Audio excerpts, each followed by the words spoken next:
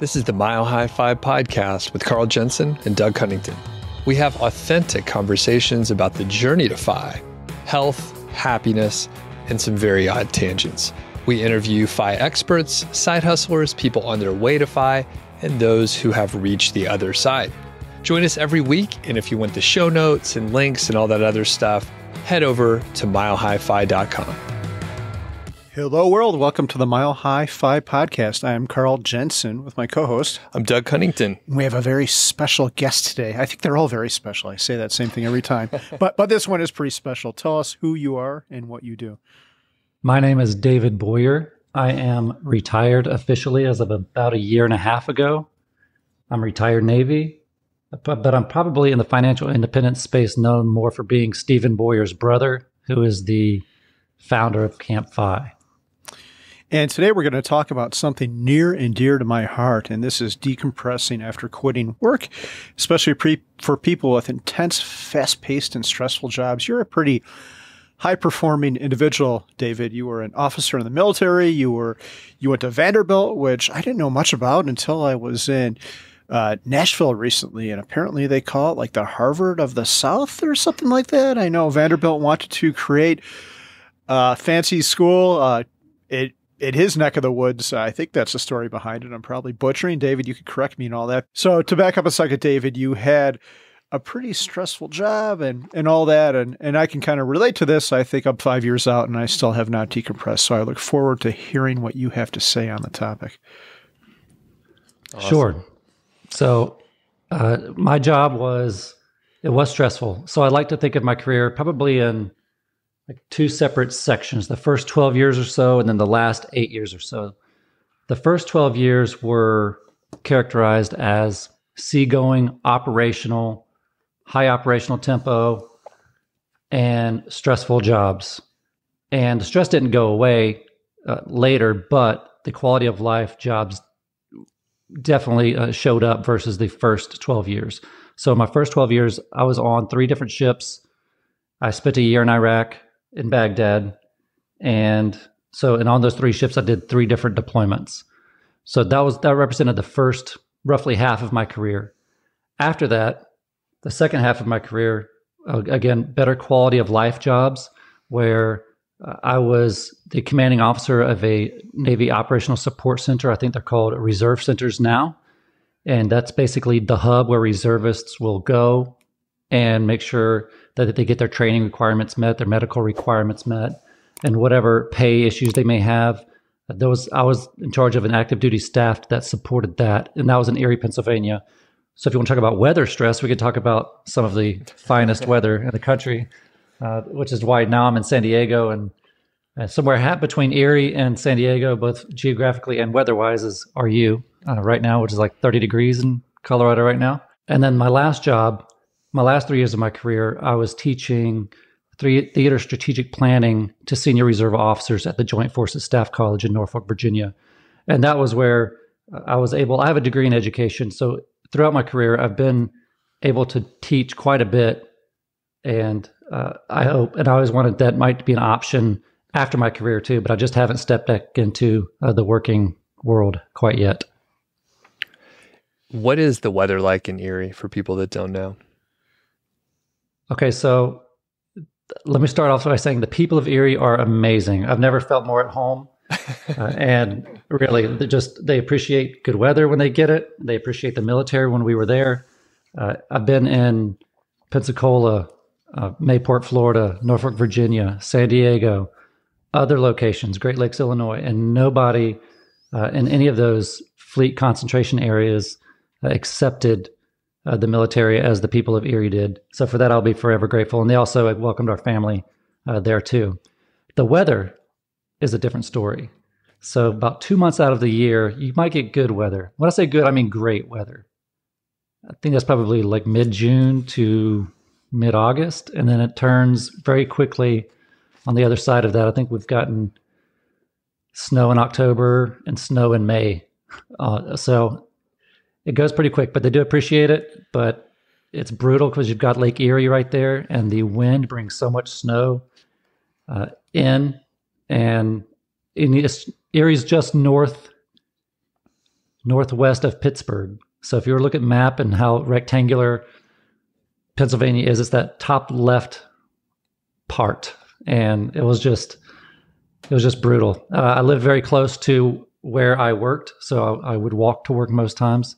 You definitely bundle up, and after you shovel snow, and here's an embarrassing story. So I bought a truck in 2011 here in San Diego when I was stationed here and took that front wheel drive, beautiful Dodge Ram black truck to Erie, Pennsylvania. And it must have been like maybe a half inch of snow, maybe an inch of snow. And I could not get, get it over the lip of my driveway.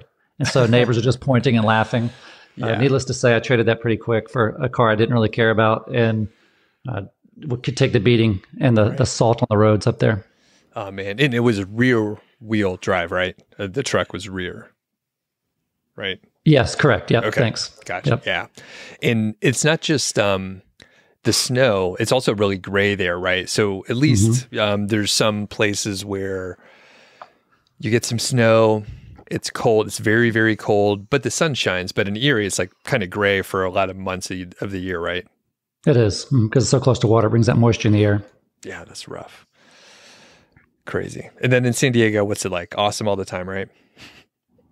You would, th- yes, from your perspective, yes. Here, San Diegans, man, I, I, I kind of make fun of them because as soon as it's chilly, if it's if it's not within that ten degree range of sixty eight to seventy eight, it's either too hot or way too cold, and they let you know it too. And I'm just like you. I'm come from Georgia, so I know heat and I've lived in Erie, so I know cold. But this is pretty ideal weather here. Right now, it's a little. It is a little chilly for San Diego standards here right now. Well, it is zero degrees here, David, or it was when I woke up this morning. So, is that wind chill or actual? No, that's actually. I hate wind chill. Wind chill is a stupid thing because it's it's uh it, it, drives me nuts. It's meant to make it sound more dramatic than it is because that is how cold it feels on bare skin. Like, do you ever, if it's zero degrees outside, do you ever go outside naked? I don't know about you, Doug, but I do not. So therefore, wind chill is irrelevant. It's stupid. It's to make it sound more dramatic than it is. But no, that was the actual temperature. I have no idea what the wind chill is. Well, now I'm getting a video image for how you're going to share with your audience how this podcast ends. yeah. Well, and the thing is, uh, I wind chill I don't know if I, it's like heat index. It does help though, because I was going to say the other day it was like 50 some odd degrees, but it was like a 30 mile an hour wind. And I walked outside and I was like, it's really fucking cold. So I had to like rebundle up because I was thinking, ah, it's sunny and it's 50 degrees. It should be okay. But the wind was so intense. And I didn't know. I didn't know until I walked out. I, I, think the weather people are messing with your mind. Yeah, it's fine. Well, I don't trust them anymore. It's like everything's the storm of the you know year, century, or whatever. It's so dramatic now. Yeah, yeah. It's it's all clickbait. Yeah. All right. Can I uh, talk about Carl for a minute? Yes. So for everybody who's listening, if you don't personally know Carl, uh, he's probably one of the most genuine, nicest, and funny people you'll ever meet. But he's also always got a to-do list a mile long, and can't seem to get out of it. And uh, he expresses desire to get out of it, but yet he continues to put things on his to do list. So, Carl, what are you doing to get rid of that to do list? Um, well, David, uh, funny you mentioned that because on my to do list, I just yesterday I put visit David on there. So I'm planning a trip to come out and see you. But maybe with your snarky comment, maybe I'll just delete that off there. I won't come see you, David. I won't grace you with my presence. Um, yeah. So that is uh, it, all joking aside. Uh, I am getting rid of that. We're going to finish this other house, which I came from working on this morning. And uh, yeah, I work more now than I did when I had a job. I've been doing like 12 hour days this week, uh, but it's almost over and uh, we're not going to do that anymore. It's going to be done. I'm going to focus on learning Spanish, uh, some of my other projects, and visiting you in beautiful San Diego, hopefully when the weather is shitty here in Colorado. Well, between the two of you, uh, Carl, I believe you are the better guest. Doug also has come to visit me as well. No, both of you have been great. Now, Carl, I say that because you just said that to me just now, but you also said that to me like a year ago and a year and a half ago.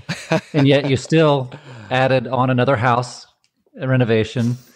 And so, what are you really going to change this time? I know it's over. I I am really really done after this. I'm not going to add anything else. We are buying no more houses or any of that shit. Yeah, I will say for for somebody who has, you know, type A like you and me, and I don't know about Doug's personality as far as the type, I would say he's probably not quite type A. What do you think, Doug?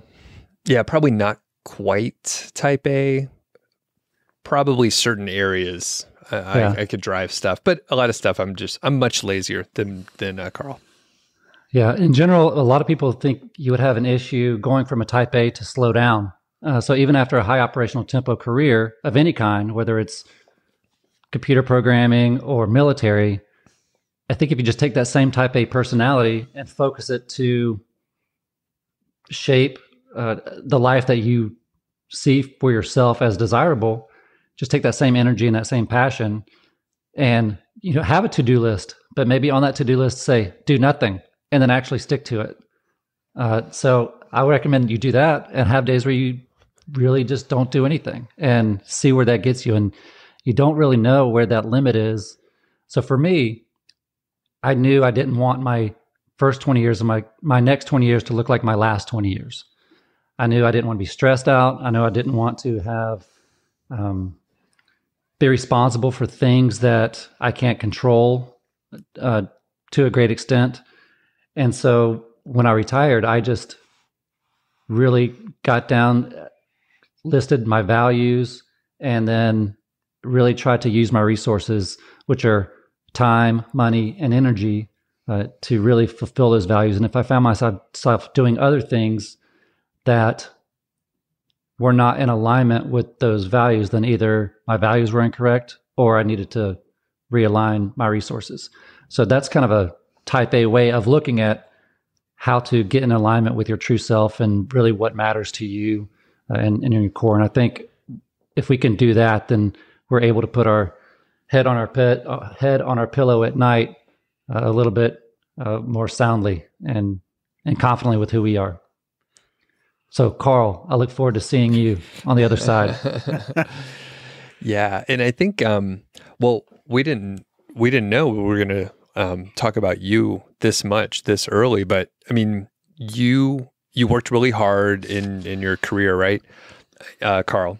And I'm also curious, were you like a high performer at your job? So for me, and I think I've said this in some shows where like I was average and I I wasn't like you know really high performer that reflected in my promotions and my raises over time. And i you know I, I, worked it out. Everything was fine. But yeah were you were you like um, one of the best at what you were doing uh, i'm not a gifted computer programmer like there's some rock star people in there if you've got someone who's really good they can do the work of 10 people uh, those kind of people are pretty rare. I wasn't that. I wasn't. Um, and a lot of people you work with are kids who were programming, like their parents bought them a Commodore 64 or some other computer. I wasn't that. I never really used a computer before college, maybe a little bit in high school, but we never had one at home. So I wasn't gifted, but you can push through a lot of things in life with brute force. I, I, remember we had one guy who was assigned to something. He had to do the login for our system. He's like, oh, we'll just create a local login for each computer. I'm like, well, that's a disaster. You don't want that. You want this to be integrated with Active Directory. He's like, well, I can't figure that out. I'm like, okay, I'm going to take this from you and and figure this out. I also did the virtualization, so I learned all that. Um, but yeah, you could push through a lot of stuff if you're determined and willing to put the time in. So I think I was a high performer, but it was because I put many, many hours in and just outworked everyone else. Cool. And I think, I mean, I, I definitely fall in that area. I can, I could figure some stuff out. I was good at debugging, which is a lot of coding, right? Um, and just like, like you said, brute force your way through. So yeah, pretty interesting. Now we have to come back to David. Um, and I had no experience in the military, although I had a lot of friends in the military back in Georgia. So what was it like, um, David? You mentioned it was kind of two segments, first 12 years, then eight. So for people like Carl and I who really don't know what it's like. You you were deployed, you saw a lot of action. So can you tell us just a little bit of what it was like from maybe a stress level, how much uh, you know work it was, what you thought it was going to be and how it was different and I'll just kind of leave it open on however you want to describe it. Sure. So you mentioned stressful. So thinking back of my most stressful job, it wasn't you might think based on what I said earlier, it was my year in Iraq and of course uh, there's some things that happened there that were stressful and uh, you know, not it wasn't a nice vacation spot to be at or anything like that. But the most stress I've ever felt, I was the department head for the engineering plant on board a ship out here in San Diego uh, for three years, and that job.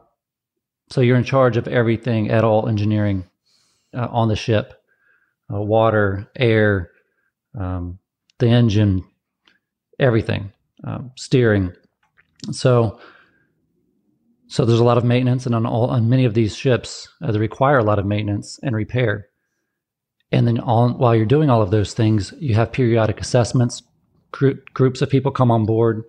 They assess your training programs, uh, they, your damage control responses, uh, and your programs in general. So uh, there was one time where I don't think I, I think I didn't sleep for over 48 hours, and and then the assessment happened, and it didn't go well, uh, or at least as well as, as I anticipated. Uh, and then there was some other things that happened there too. So that was probably the most physical stress I've gone through, and you, I've definitely found my limits, uh, both emotionally, physically, uh, and mentally. And so I learned a lot during that tour, and it definitely shaped how I went moved forward. Uh, being Type A, maybe you don't delegate well uh, because you think you can do it better. Um, but then after that experience uh, and me being pushed so so much personally, uh, I decided to delegate a lot more, and then honestly select certain things that I didn't care about uh, or that I shouldn't care about as much as others, and that was a good transition time for and, and a learning experience for me, and that shaped how my leadership went forward. And there were probably some, you know, good fun parts in the military. Any any highlights where you're like, oh yeah, I kind of miss this stuff now that you know you're not in there? I'll say in general, I miss very little. Uh, I know I'm not. I don't believe I'm the norm in that. I do know that many people who leave the military miss the camaraderie uh, and uh, maybe to some extent the job itself. Of the things I think I miss right now is probably problem solving, but then that can be problems need to be solved all the time, whether you're in or outside the military. So I can just find other things to other problems to solve.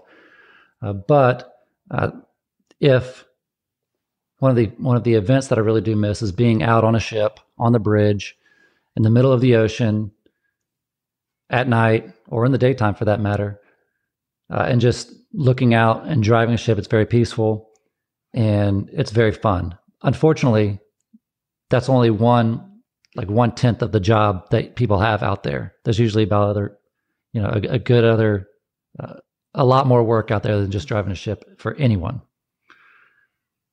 Huh. You have a cruise port by you. You can go buy a ticket for a carnival cruise and jump on a boat. I guess they probably won't let you steer, but maybe, I don't know, you're military, you can talk and go see the captain and I, I don't know. I'm picturing that big wood yeah. wheel, which I'm sure no ships actually have. They probably don't have a wheel at all. It's probably all they do, but they do. They do have they that do. thing, or really? They do. It's called a helm. Yeah, they do have one, and yes, they have one. Uh, I don't know how many are are now completely operational, but I know the ships that I've been on, and this is over a decade ago, or right at a decade decade ago, as I was on my last ship, and many of those ships are becoming uh, older and decommissioned, or their systems are being upgraded and most do navigate by GPS uh, anyway. Uh, but uh, the steering, yes, there's a big wheel, and you've you know all into the head one third indicate whatever turns for however many knots, and come right steer course two seven zero. Yeah, all that stuff is still out there, and uh, it that that's the fun part of the job. There's just a lot of not fun parts as well. But so yeah, in San Diego, my son and I were we walked down to the marina the other day, and Disney has a cruise line out here, and so of course the kid sees Mickey Mouse on the side of a ship, and he's like, "When are we going to go on this cruise?" I'm like, "You know, I could drive that ship, right?" He's like, "What?" So my son is almost nine, so he doesn't know me. Uh, he was born after my last ship tour, so it's kind of interesting now. He looks here in San Diego and sees many people in the in the Navy, and now he doesn't see me in uniform anymore and so I think it's piquing his interest, but he still seems surprised when he, he found out I had a, a real job and did kind of some cool things in my career. Where did college fit into all this? At what point was that in the middle of your service, or when did you go to uh, Vanderbilt? Great question. So Stephen, my brother, and I, we both enlisted into the Navy right after graduation in 1996. We both went to Great Lakes, Illinois boot camp together. It was very cold. I think from these two Georgia boys shoveling snow in November. Was that graduation from college or high school? That was high school. Oh, okay.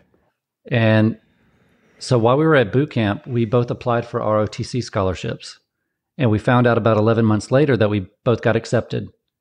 And Stephen decided to go to the University of Florida to be a Gator. And I chose Vanderbilt. At this time, I was naive. I didn't know anything.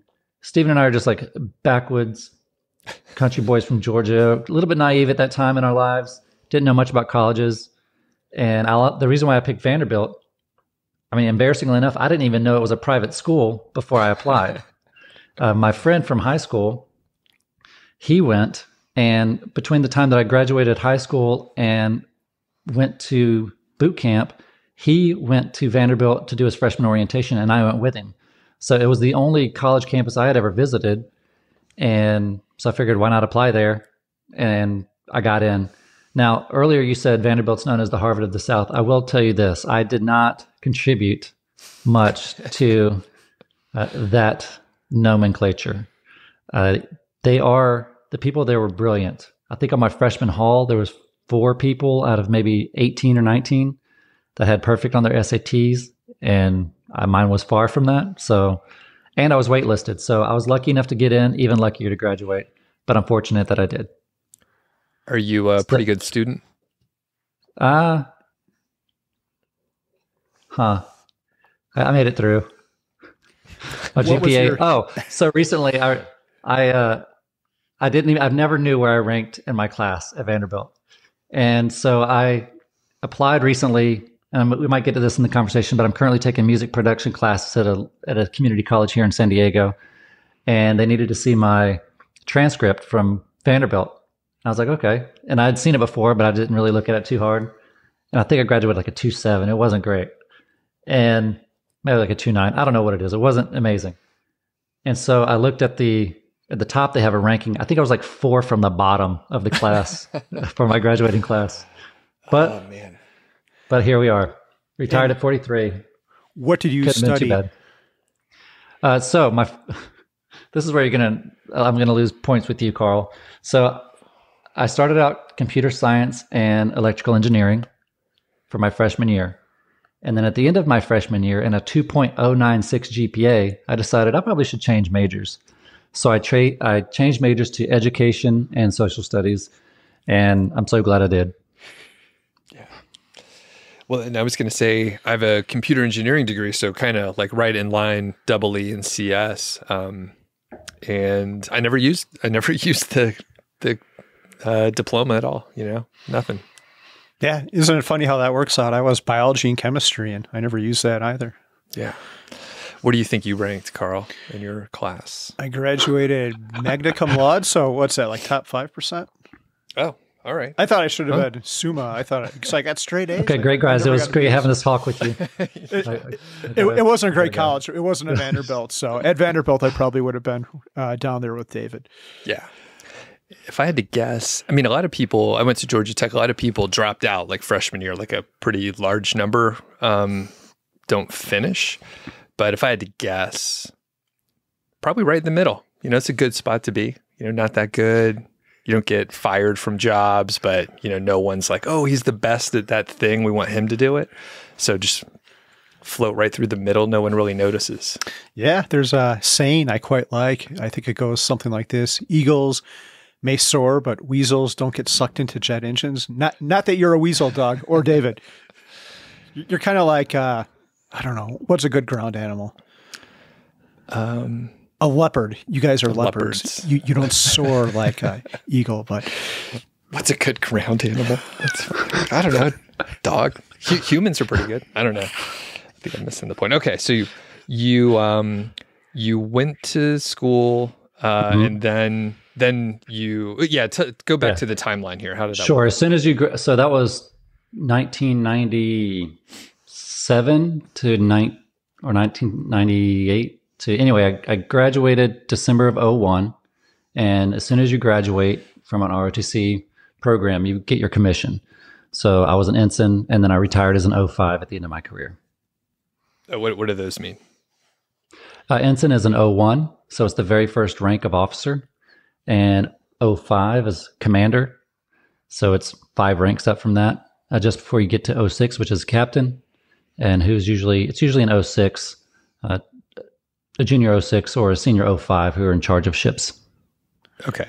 Damn, that sounds pretty fancy. I'm going to have to call him Commander David from now on. I take back all those mean things I said about you being a weasel or whatever I said. so, when did you discover FI and was early retirement like on your radar? I know, you know, for me, like I said, I had some friends in the military and they would talk about officers that put in their 20 years and then they would, you know, have their pension and then go into consulting and basically have mm-hmm. like a, you know, a very good sort of retirement and the, yeah, that that was on their specific plan. So, how about mm-hmm. you?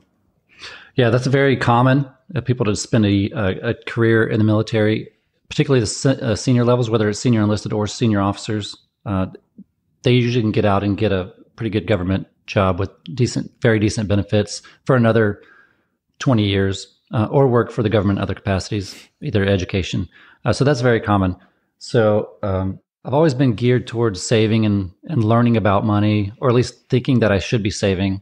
Uh, I remember I was 18 or 19 uh, when I read Rich Dad Poor Dad by Robert Kiyosaki, and we can, uh, you know, we can debate the merits of the factuality of the story or not, but I do give it credit for for the motivation it provided me to learn more and more about money and see money and businesses and how to create income and mindset, uh, and that's what led me to continue to read, uh, continue to learn, and put some things in practice.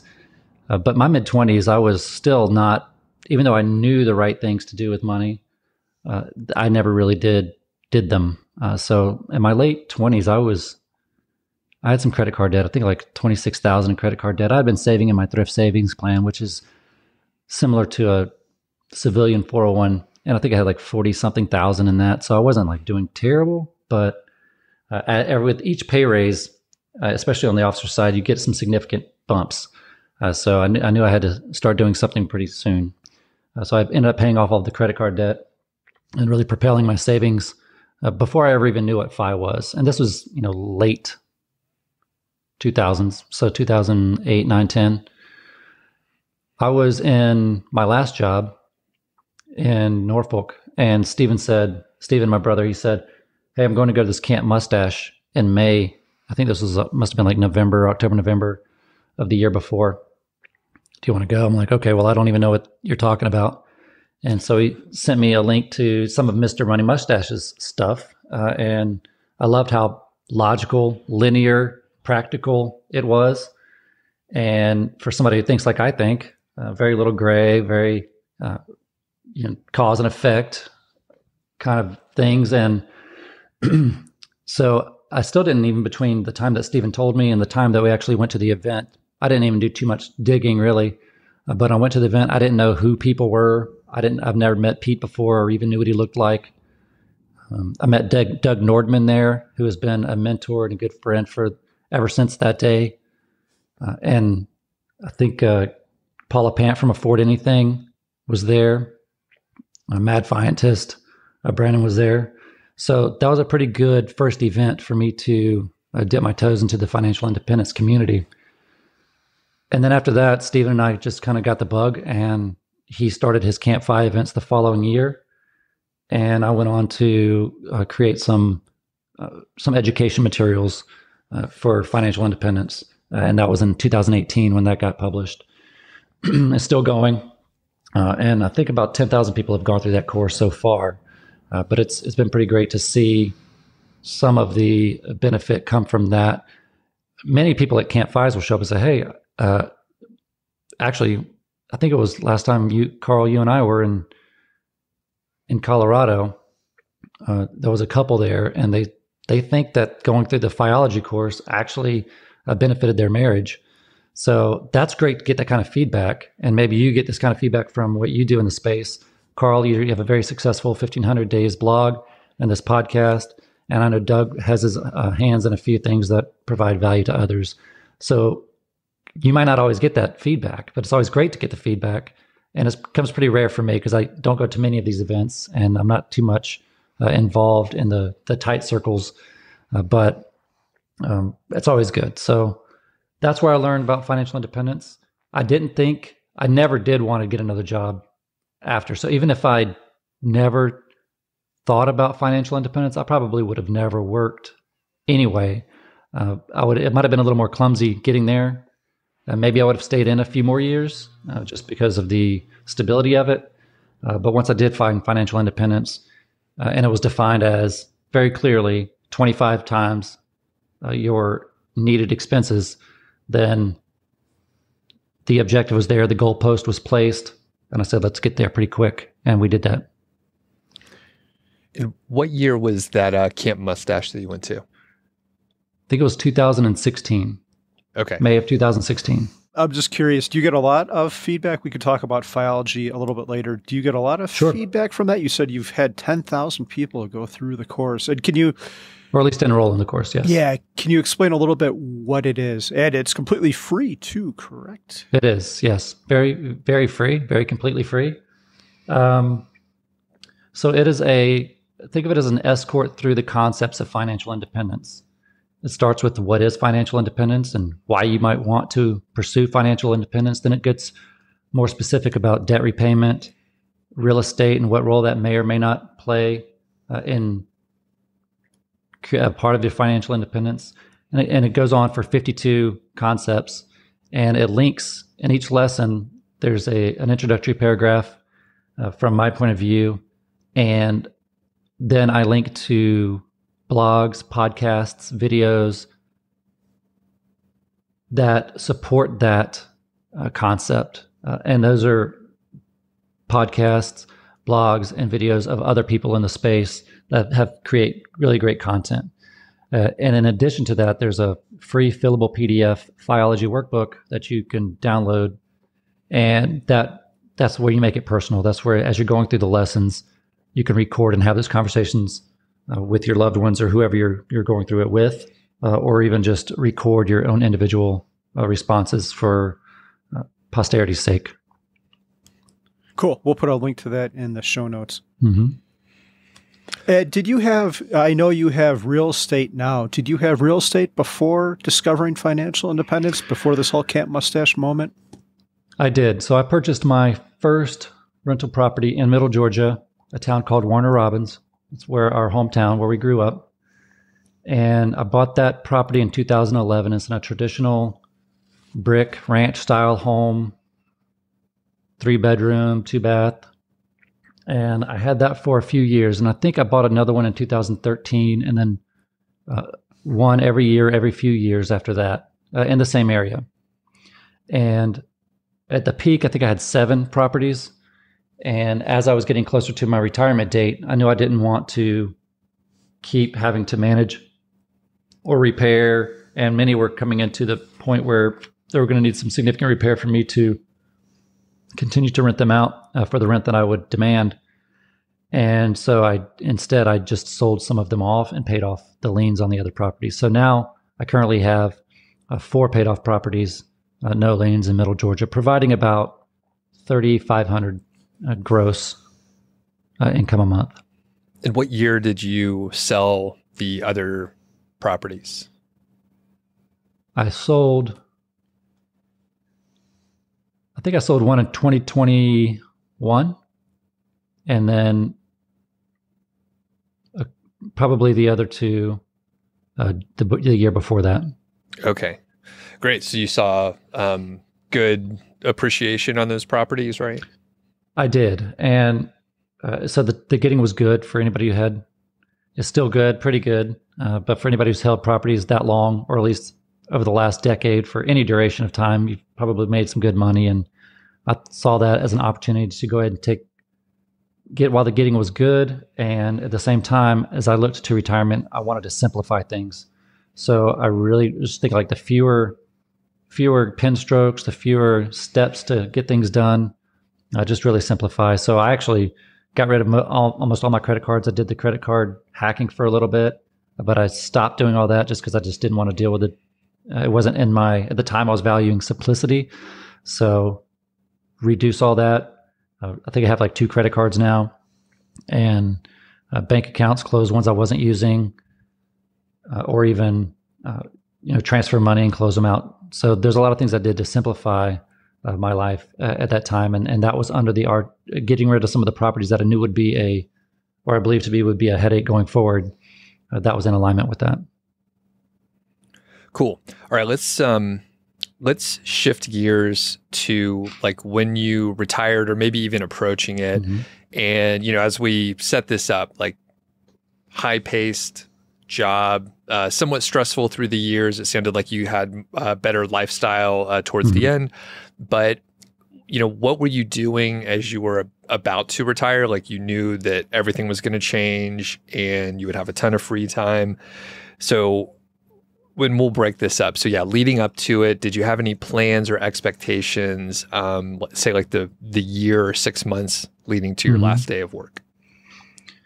Yes. So I got very lucky that well, if there's anything lucky about COVID, uh, that the policy came out where you could normally you would have to use or lose leave uh, by October.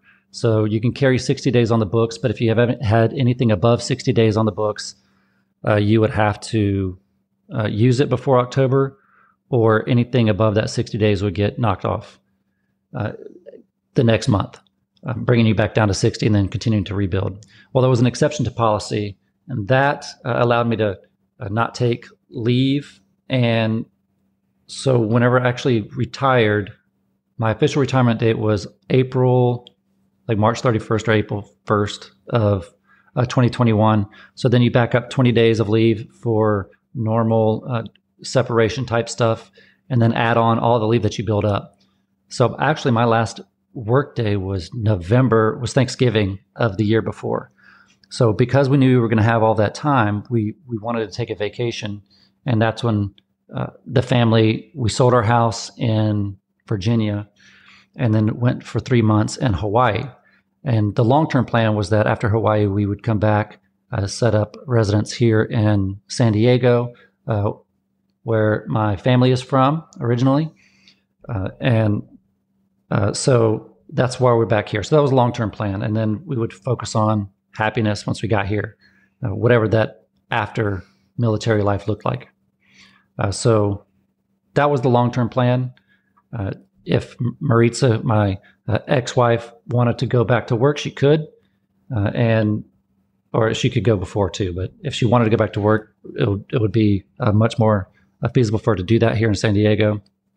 she's a hairstylist and she's amazing at what she does. so that was the long term plan that we would, our son, who's going to be, who at the time was eight, seven or eight, we would stay here at least in, through his graduation of high school. Got it. Okay, so that's leading up, and then Carl, any follow up questions on the the lead up to retirement? Um, I did you do anything specific to prepare money wise, or uh, was it just going on that big three month uh, trip to Hawaii? And I guess what was the Hawaii trip like? Did you decompress on that? Were you uh, I'm asking a bunch of stuff here, but at sure. that time, were you stressed out? Like after that Thanksgiving, when you stopped working, did you have to decompress? Where were you at that? And where were you in your career at that point? So at that point in my career, I, have been preparing for years. Really, uh, in the military, they make you notify them that you want to retire at nine to eleven months out. So it's not that you're all of a sudden you're making the decision, and then in a few weeks later, you're out the door. So you, you do have time to prepare. You've gone through the medical reviews for you know potential disability. You've gone through uh, some other training that helps uh, that meant to help you uh, reintegrate back into the you know, civilian world. But personally, uh, I think I was fine. I think I was already prepared because one, I've, I've, had the mindset for a number of years of the financial independence mindset. Like, why are you doing it, and once you have the why down, of course, everything be, else becomes a little more uh, linear and, and, easier to understand and easier to justify. So, compared to other people, I think I was much more prepared. Um, and yes, I was ready. the The Hawaii trip was just meant to be a vacation, And I, but ironically enough, I did get very antsy there, and I don't know if it was uh, being you know on Oahu, and they say after you're there for a few weeks, um, you know either fall into two categories: the people who want to stay there forever, or the people who get really really antsy and and ready ready to get off the island. Uh, between that and uh, just not knowing what, even though I was prepared, I really did have, uh, I don't want to say anxiety, but uh, I was really getting antsy. And I even flew from Hawaii to Phoenix for a job interview before my actual retirement date uh, because. Uh, so I guess maybe I wasn't as prepared as I thought, Carl. Um, so I was really considering taking another job. I'm certified to teach NJROTC program at high schools. So I was like, okay, well, let's get back. Maybe we can live in Phoenix. It's, it's pretty close to San Diego. Uh, let me just fly there and see what's going on.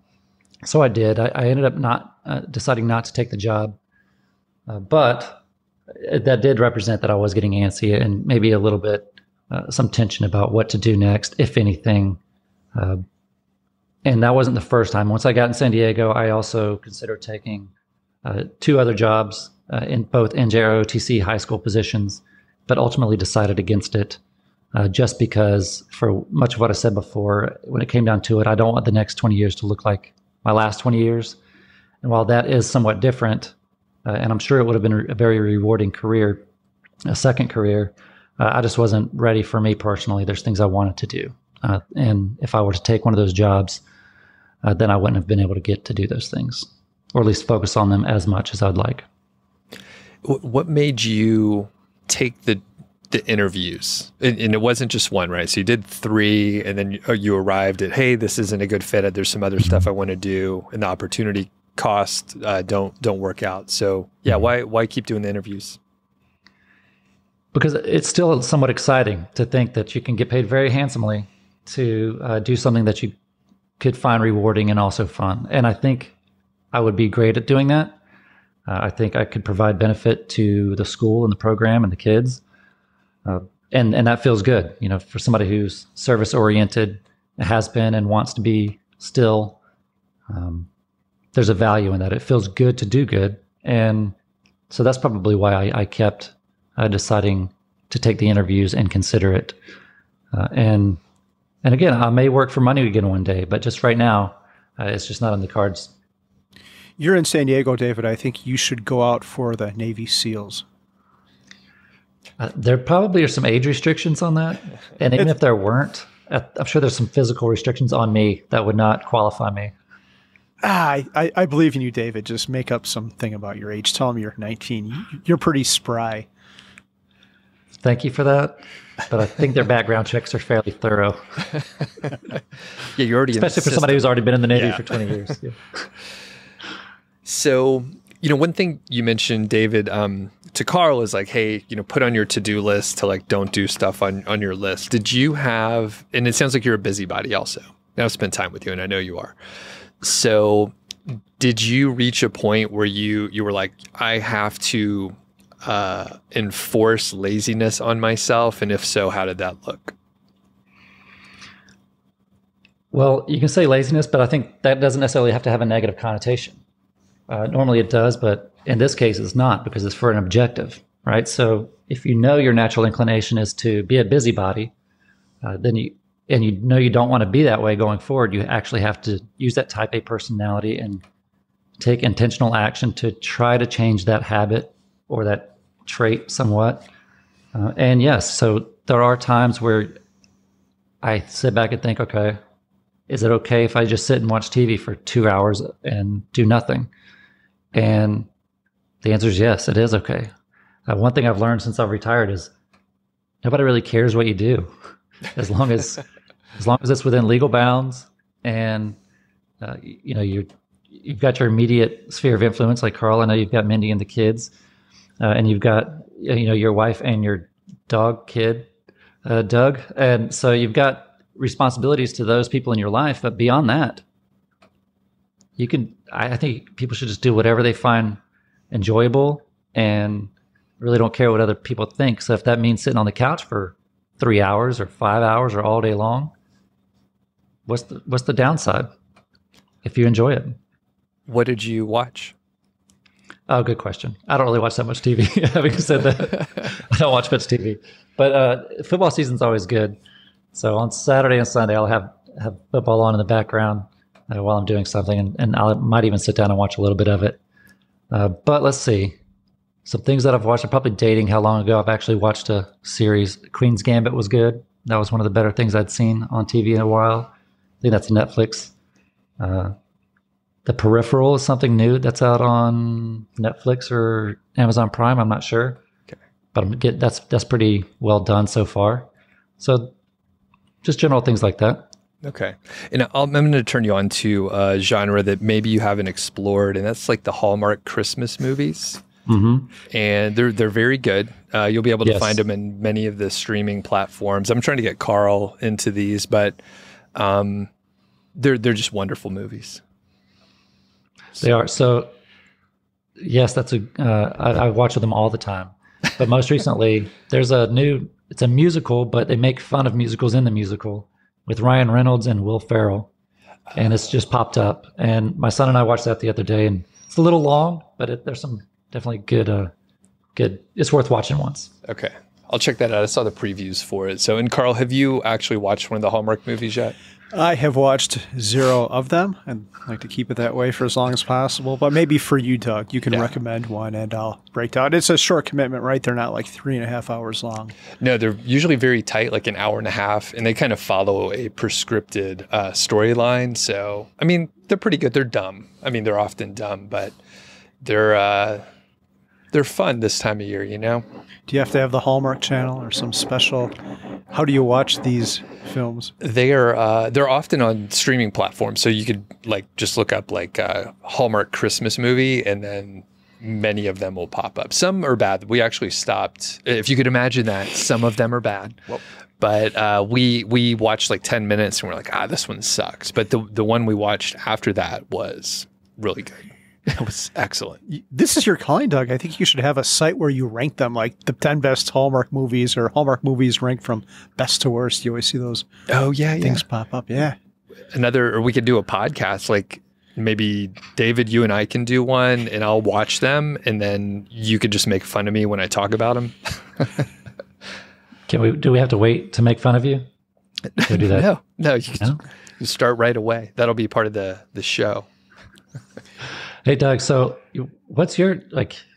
You you have a lot of uh, things going on, uh, many jobs, I believe. So, when are you going to call it financially independent and, and call it good? I know I've had this conversation with you in person, but you right. always come up with some reason not to do it. Not to do it. Yeah, you know, I think technically, you know, we hit the five point, but the work that I'm doing is like this, you know, just hanging out, talking to people. So th- there's some, you know, work related to it that isn't as fun, the admin stuff, but it's fine. So I, I don't think I'll I'll hang it up and say I'm retired. I know that's um, people have an issue if you're doing any kind of work. So I've never said that I'm retired and I probably won't and I'll keep doing something.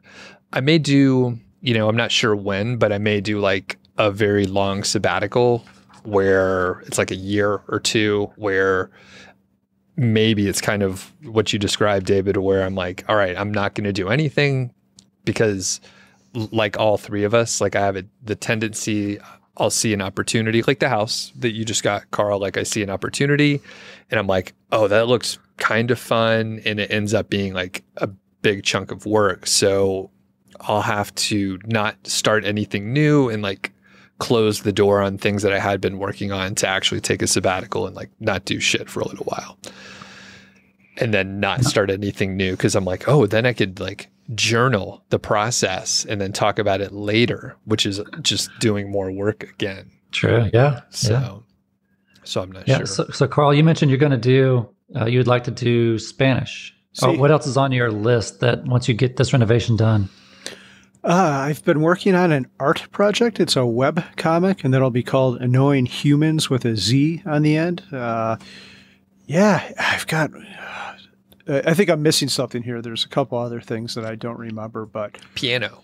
Yeah. Oh, yeah. Piano's one of them. And just working out, David. I'd like to. Uh, so I plan to be done with this remodel probably in the next four weeks or so. And I really want to. Mindy and I have been going back to the gym, but I really want to go back starting in January. And that's why I want to come visit you. I think you and Doug did like 18 pull ups or some crazy thing like that. And I could do like 10 now, but I'd like to be able to do the same amount as you, David. So my motivation January, I'll hit the gym hard, maybe like two or three hours a day and just focus on health. Yeah. Nice. And how yeah, many pull ups can you do, uh, David? You just sent me a video the other day. I did. You got to roll with it. You I, told me about it. Yeah. no, I did. Uh, well, you do have a video of me doing pull ups for sure. I did. Yeah. Uh, when you came to visit, we were out in Imperial Beach, and we both did a quick pull up competition right there on the beach imagine a Venice Beach type uh, with you know maybe not as muscular dudes hanging out. Uh, I think we were very very close to to matching each other's performance. So lately, I, I think I just did a, a, max set, not perfect form but decent form. Twenty is what I got to. My peak was twenty five, and I think it was at last February. So coming up on a year ago, I uh, did twenty five, and that's when I was actually focusing on trying to do more pull ups.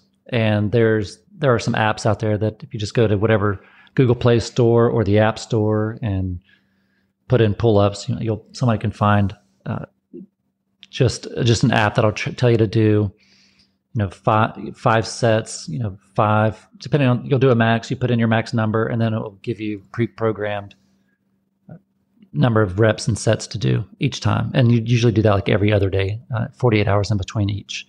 And so that got me from I think 16 to 25 pretty quick, you know, within about a month. So if anybody's wanting to learn how to do more pull-ups, which is a very hard exercise to do, especially for tall, uh, lanky people like me, uh, that's that's one way to do it. I'm reading a book now by a Navy SEAL, and don't spoil it for me because I don't know if he's successful or not. But I'm at the point in the book where he's trying to set a world record for the most number of pull-ups in 24 hours, and I think the record he's trying to beat is like 4,080 or something like that. Can you imagine doing 4,000 pull ups in 24 hours? I think he said, Oh, I only have to do like six every minute to beat the record. I'm like, oh my God, that's craziness. So, yeah. yeah. That's a great book, by the way. Yeah. You've, so David yeah. Noggins, you've read David Goggins. Goggins, Goggins, sorry. Yeah. The name of the book is Can't Hurt Me. And I've purchased that book for other people and I've listened to the audiobook. Uh, and if you're, if you this is your first time hearing about the book, I recommend the audiobook because he goes through, there's a narrator that reads the book, and then he's next to the narrator and adds his two cents after each chapter or during the reading. Uh, makes it pretty valuable uh, compared to the book, which is also valuable. Yeah, it's great. That guy's a freaking animal. He's awesome. Mm-hmm. Okay, so let's see. We are talking about uh, working out and stuff, which we'll we'll jump back to because I think I mean you mm-hmm. spend a lot of time on that. But one thing Carl and I need to do is talk about how to support the show. So we're trying to integrate this stuff. So, David, I can't remember if we told you, but we are trying to avoid ads. We may still test them, but we're trying to avoid ads. So we're accepting donations. So, do you want mm-hmm. to commit to support the show? Well, I'll ask you later. Don't answer. I don't want you to influence other people. But have you ever uh, donated to like a podcast or even like public radio or something like that where it's like listener supported kind of stuff? He did. I'll speak for David for a second while he thinks about this. I know David uh, supported EconoMe, right? You, you gave, oh, yes. You helped yeah, get the EconoMe, EconoMe conference off the ground, which is great. I'm so thankful you did that. I don't think you were even there. Were you? Stephen was there. I get. No, I did not go to that one. Uh, but yes, um, Diana Merriam runs a great EconoMe conference. Uh, she's been great for the space, and uh, I've heard nothing but great things about the EconoMe conference from anyone who's attended. So I, I expect that she'll be doing it again next year. And so if any of your listeners listeners are uh, in uh, the area, and I believe it's Cincinnati or St. Louis, Cincinnati, Cincinnati, uh, then definitely uh, look into the EconoMe, E C O N O M E, EconoMe.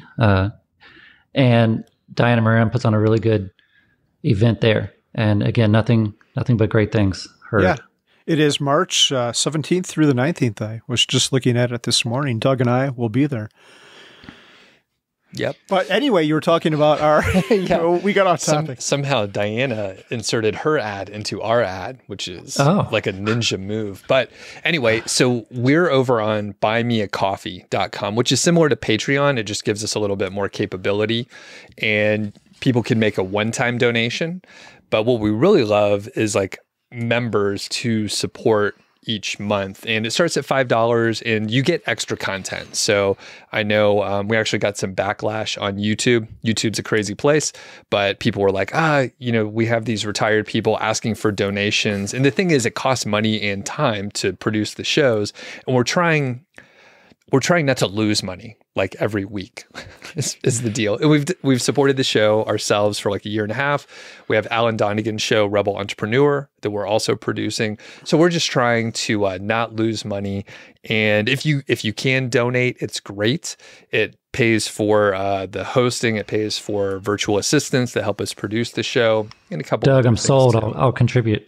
Awesome. So just takes a, a, little bit to help us out each month and help bring you the show and hopefully not have ads for uh, one company that just went under uh, recently is BlockFi, right? So BlockFi like advertised all over the place. They supported FinCon, other shit. So we don't want to have ads um, from companies like BlockFi, which I think we can say because they just filed for bankruptcy, right?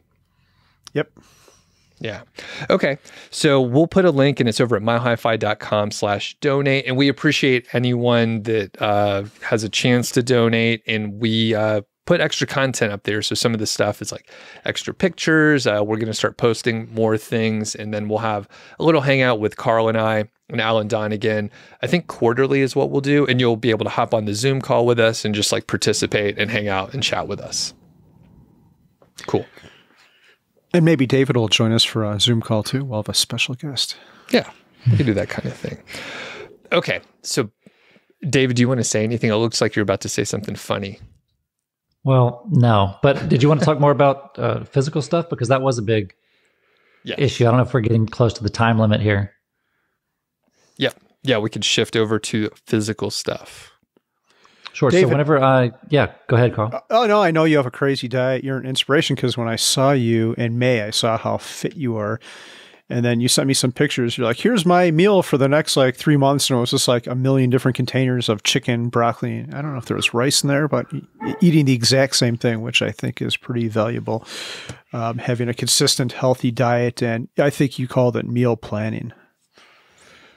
Yes. So whenever I finally got settled here in San Diego, which was about July of 2021. There's really no more excuses to you know, eat out or eat out often.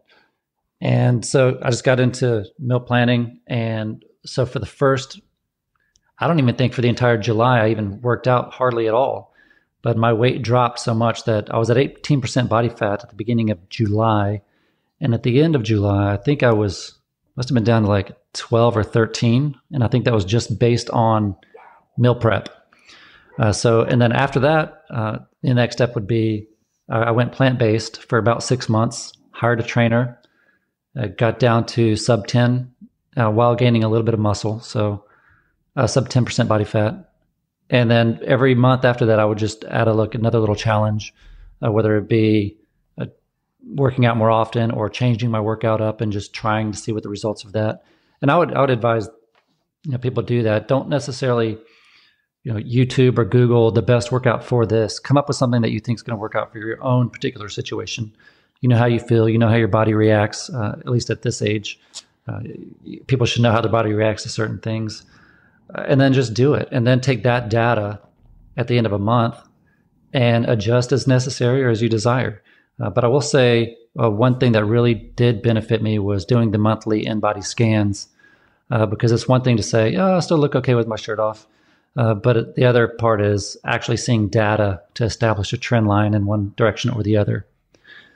And then you can use that trend line to to further adjust whether it's meal planning or or more exercise or less exercise. Uh, one one very curious thing I did discover though, uh, I was trying to get down to seven percent body fat by this by the end of this last June. And uh, it was kind of turned into like a sort of a disaster because at the end of May, I was still doing well. And then I had this plan to just do 20,000 steps a day. And then starting June 1st, So 21,000 June 1st, 22,000 June 2nd, and do that all the way to the end of June and basically force my body to have no other option uh, than to lose a little bit of weight. But what ended up happening, uh, I actually cut my calories. I think I was doing like 1,300 calories a day during that, maybe a little bit more. And six days in, I went and got my next InBody scans just to see how the trend was going. And it, it turns out I actually burnt a lot of muscle and gained body fat, which you would not think is possible. So I would say um, always consider like where you're at. I think if you're above, if you're male and you're above 10% body fat, uh, then that's okay probably to, and, and if losing weight is your goal, do that. But once you get below 10% body fat, I would almost say cut out the cardio uh, other than just for, you know, the 10 minutes to warm up and maintain good cardio health. But cut cut out as much as you can and just focus on weights if you're wanting to preserve uh, muscle mass uh, because as long as your your eating doesn't return too sloppy, I don't think you're going to gain that weight back. And where are you at uh, right now? Right now, uh, it's been about a month and a half since I did an InBody scan, uh, but right now I'm probably 181, 180, and at uh, probably 9.7 percent body fat, I would guess. And what do you what do you want to be at like a sustainable level? Because seven percent, like if you made it there, I yeah. assume you don't want to live that way, right? No, I would not want to live that way. Uh, once you get, you have uh, many issues once you get down to that low percent body fat, uh, and it's even the issues are more significant for females. And, and uh, but as far as like hormone production, mood, all of those things, it's just not something that it's not. I don't believe it. I'm sure it's sustainable. I just don't know that it would be in either that healthy to sustain it long term, or definitely wouldn't be that enjoyable to sustain that long term. Uh, so my my next goal is to put just put on some more muscle mass, uh, maybe uh, five or six pounds over the next few months, and but I've been slacking a little bit. So my five days a, a week working out have gone down to like three. So, but we'll get there. I feel you. Yeah, I am. Um, I am struggling with motivation. I still go to the gym, but my workouts are shit like in the last month or so. And I think part of it is like the season and part of it is just like eating over the holidays. And I went back to Georgia where I'm from also and visited family and just ate like trash the whole time. It was fun, it re- really fun, drank a ton and it was a blast. Um, so, so what do you do when your motivation is lacking? How do, do you Sure. Um, just try to force yourself. Are your workouts worse now too? Because mine, I'm just like, I just don't feel like it. Right. So then I think you have to just bring the scope back a little bit. So I think Carl, you were talking about two or three hour workouts. Well, if you if you're looking forward to a if you're having already having motivational issues and then you looking forward to in air quotes looking forward to a two three hour workout at the gym uh, then you're probably not likely to go do it, or at least less likely to go do it.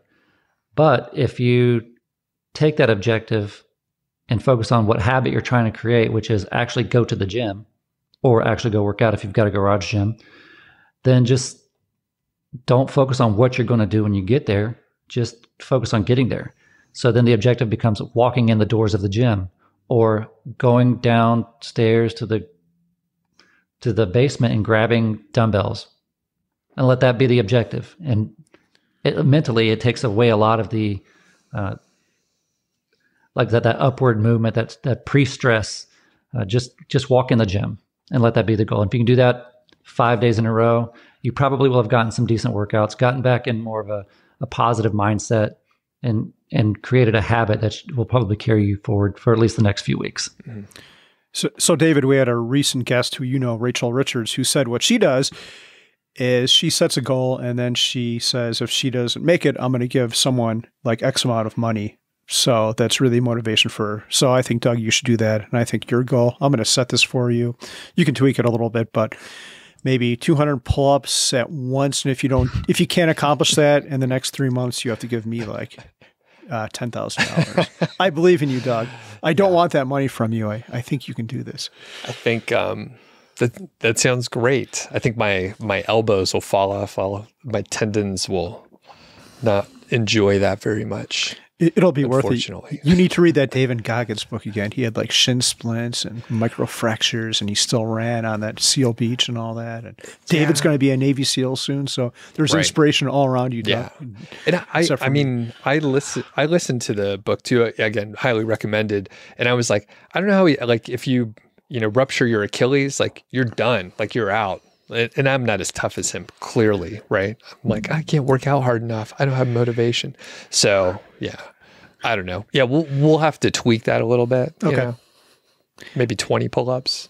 Yeah, I don't. Doug, aim high. It's just a little bit more of a stretch. Soar like a leopard. okay, so before we uh, wrap it up here, um, anything else fitness or health related um, before I ask uh, a couple final questions here? I would just say that if if people have, I know Rachel Richards. She's uh, I saw it before I got off social media. I did see that she had some posts on there where she was really focusing on hers, uh, on her fitness and, and achieving a lot of her goals. Uh, I will say uh, one week or even one month does not a trend to make.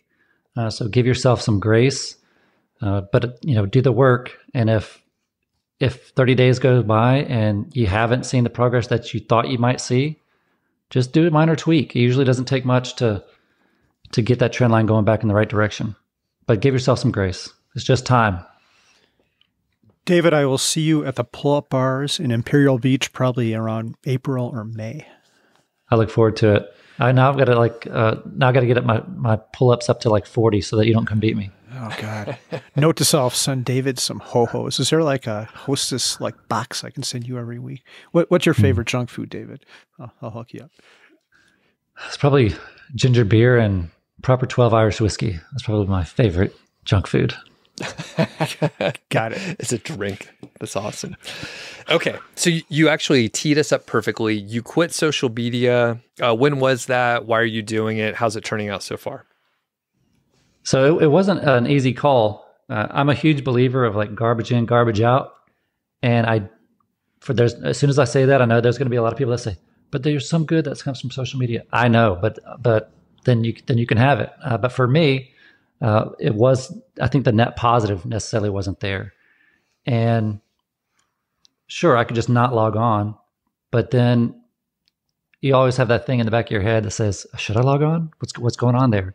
So I didn't want that to keep nagging at me, uh, especially if you have a brand like Fiology or Mile High FI or Fifteen Hundred Days or BiggerPockets Money. Uh, if you have a brand, you almost need to have an online presence. Uh, so thinking about that with Fiology is I, w- I look back and the Fiology growth really wasn't coming from social media. Uh, so I was like, okay, well, uh, the data point isn't there for me to continue to justify that from a branding standpoint. Part of that's my fault too. I just didn't want to put that much energy into it. Uh, I'm sure I know there's there's plenty of people who are successful at doing social media marketing, uh, but I just everything I had tried in the past, I didn't get the results, and I didn't want to keep putting more energy into it. So I just got off of it, and I don't miss it for one second. Really, I mean, I, I never even think about it. How long ago was that? It's probably a couple months ago, and it's it's along the lines of like watching news media. I think you know, garbage in, garbage out. I don't watch any news. Uh, scroll through the headlines, and if something I know about the BlockFi, I saw that this morning on uh, CNBC. But other than scrolling through the headlines, and, and if something catches my eye, I'll read it. Uh, but other than that, I don't really spend too much time on things I can't influence. That's great.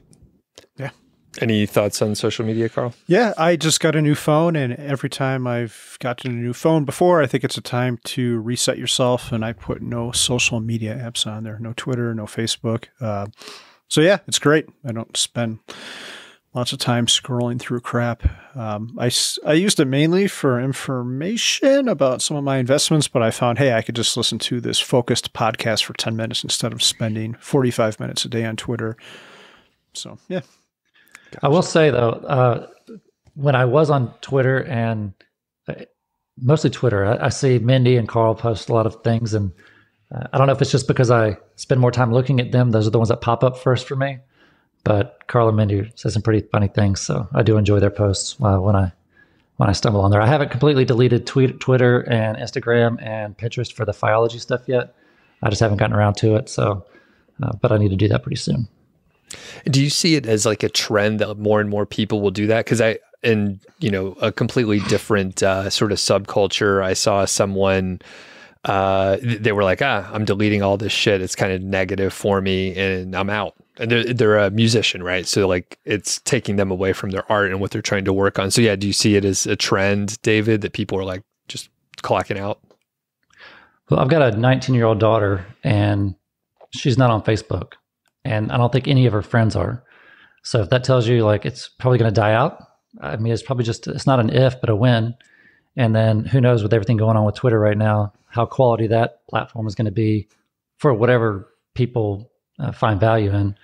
Uh, how how long that's going to be. So I don't know. I think social media in general, uh, you know, you got MySpace that died out pretty quick. Uh, it's, it's, it might be a it might be a long term trend, uh, but I think something else will come along or nothing else will come along and, and it'll probably fall to the wayside when people realize or policies are put in place uh, like mental health policies maybe uh, going forward. I'd like to see some of that more uh, that control social media especially with the kids. Yeah. Yeah podcast i listened to yesterday i th- it was Derek Thompson. I can't remember what his is called but it was called like why are we so lonely? And I guess teen depression is at an all time high, and it's obvious why. It's because they are on social media, not so much Facebook anymore, but they've moved on to Snapchat and Instagram and all this other shit. And mm-hmm. uh, one of the points they made was kids still spend a lot of time with each other, but they do it virtually, and there's a lot lost if you're engaging humans, not face to face. Yeah. Yeah. And I, I had a maybe similar observation where I'm I'm trying to uh, limit the time. I like Instagram, a lot of puppies on there and stuff. I dig that. Uh, my friends will have pictures of food, so I'll take a look at that. But I, am limiting it to like 15 minutes a day, something like that. Um, but I was going to say recently, like we've done a few things over the holidays and like we're just hanging out in person. There have been birthday parties and at HQ. I'm like, this is great. Like you get to hang out with people. And same when I met you, David, just hanging out and, you know, we're not pulling out our phones or distracted. We're just having conversations, whatever, walking down the beach. We went on a nice hike and then a wonderful dinner you cooked for me. It was, it was kind of romantic, actually. David's, uh, smooth, I would say. But but but yeah, hanging out in person is the whole point. Like the connections you can make is completely different than you know. Yeah, we're we're liking each other's posts or something like that, which is pretty empty, I would say. That sounds kind of foul too. You're liking each other's posts. Um, did that happen after or before dinner? Both. Uh, am I remembering that right, Dave? Both. I think so. Maybe like, breakfast too breakfast the morning after, maybe. I'm not sure. I, I can't remember. But I think it also goes back to each of us. We have to ask, like, why do we care about certain things? You know, why do we care? Why do we, you know, you see something and you, something pisses you off. You're like, why do I care about that? Somebody cuts you off. Why do I care? I mean, yeah. So social media is the same way. Like somebody makes a post. Why do I care? so that then that becomes more about us, and then we allow that to take from us. Really, we give that power away uh, to somebody to have negative influence over us or something to have a negative influence over us. So if you can just methodically reduce the contact points of those kind of interactions, then you have a less chance of a, a negative response to certain things. But I think it's a self reflection of, and it's not just social media. It could be personal interactions, or it could be your neighbor. It could be anything. Like why do you why do you let that get to you, uh, or or or why do you care? And if you get an answer to why you care, then it might help you create that if then statement uh, to better uh, better process those type, type of things. So one quick follow up, David, and then we'll wrap it up. You had said mm-hmm. earlier today at the Camp FI, you there was a couple there who said Fiology might have saved their marriage, or at least it really helped them out. And I'm sure that made you feel good. And I've thought about that with some of my talks. People will come up to me, and it feels pretty good when someone tells you that you you gave a good talk. But I think that's kind of caustic too because you're seeking validation from an external source. You, it's not quite as bad as being negatively affected by a negative interaction, but you're still you're still being validated or being affected by something outside of your control. I guess. What do you think about that? Well, I'd say the intent here matters, right? So, and if, if you know the players uh, personally, or at least over a weekend, I think it's a little bit different than a post on social media. And so, if my intent with Fiology is positive and good rather than uh, condemning or berating or condescending, I think that's a different that's a different uh, way to do it. And we all want to be validated for our efforts, especially when we think our efforts are attempting to help others. Uh, and I think maybe I'm selfish that way, uh, but I'm human, and so it always does feel good when you think that you're putting some good out in the world. Now, if somebody came to me and said, Fiology ruined my marriage. I hate you. Uh, and you're to blame. Then I think uh, maybe I would have to do some more self reflection on uh, myself and the product that I'm putting out in the world. Maybe they used it wrong, you know. maybe. awesome. Anything else, Carl? I think that's all. All right. David, this has been fantastic. Really fun to catch up with you. Where should people find you? Well, Carl, you have my number, and Doug, you have my number. So if you could filter anybody that wants to get in contact with me, that'd be great. No, uh, you can either go to Fiology and hit contact. You could do there, and then, then I'll uh, send you an email back. Um, I've checked that every couple days at least. So yes, feel free. And if you're in San Diego or plan to come to San Diego, uh, I would love to uh, take you out for a drink or even a beach walk, like Doug and I. It's wonderful. Awesome. Thanks for listening to the show. That was the Mile High FI podcast, and I'm Doug Cunnington, the balder host, and Carl Jensen is the cool, sexy one. If you dig the show, please do three things for us. Number one, tell a friend, a family member, an enemy about the show. We really don't care who you tell. Maybe forward them a specific show that you know that they will like. It's the single most helpful thing that you can do to spread the word. It's like giving us a virtual high five, and uh, actually, we don't give high fives in, in person, so the virtual kind's pretty good. And more importantly, your friend or family member or even your enemy will appreciate the fact that you were thinking of them. Number two, make sure you're following or subscribed on your podcast app, Apple Podcast, Spotify, Overcast, YouTube, whatever you're using, and that way you won't miss a show. And number three, please leave us a rating and review. We read them on the show occasionally, and you might hear yours out there on an upcoming episode. Quick disclaimer this show is not financial or legal advice. I'd actually be surprised if it sounded like it. It's really just for entertainment, and that's at least what we're hoping for. But seriously, get advice from professionals. Carl and I are just two guys with microphones that sit in my basement and talk. So we'll catch y'all next week.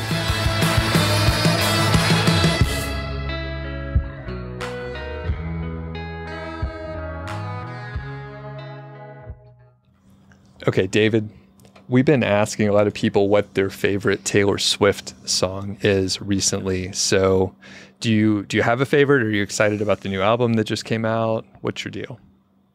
Who is Taylor Swift? Oh man, we're not going to be able to. Is, it, is, she, is that a, is she a rapper? I thought you're into music.